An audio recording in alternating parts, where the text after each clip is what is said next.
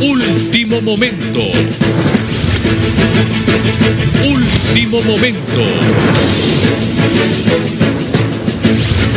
Último momento. Y mucha atención, se reporta la muerte de una mujer dentro de una casa abandonada, esto en el Valle de Amarateca. La unidad móvil de emergencia nocturna se encuentra en el lugar. Carlos Raudales, muy buenas.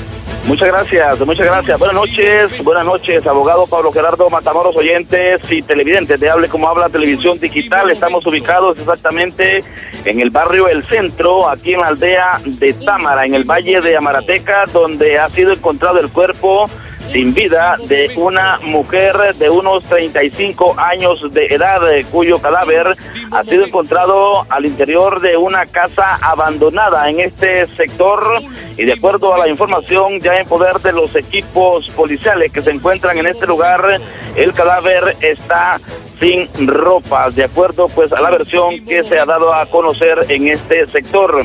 Pablo, también ya las autoridades han identificado a la hora fallecida con el supuesto nombre, y esto de manera preliminar como Suyapa Zúñiga, de unos 35 años de edad. Ya hay un fuerte desplazamiento por parte de los equipos de investigación del Estado, DPI, también otras instituciones de investigación que han llegado hasta este sector también junto al personal del Centro Médico Forense Capitalino para realizar el respectivo trabajo de reconocimiento y posterior levantamiento del el cadáver.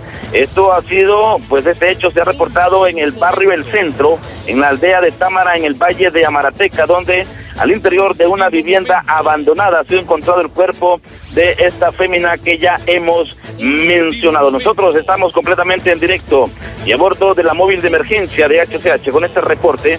Regreso con ustedes hasta el estudio principal. Gracias, Carlos Raudales. Vamos ahora con más noticias con Mariela.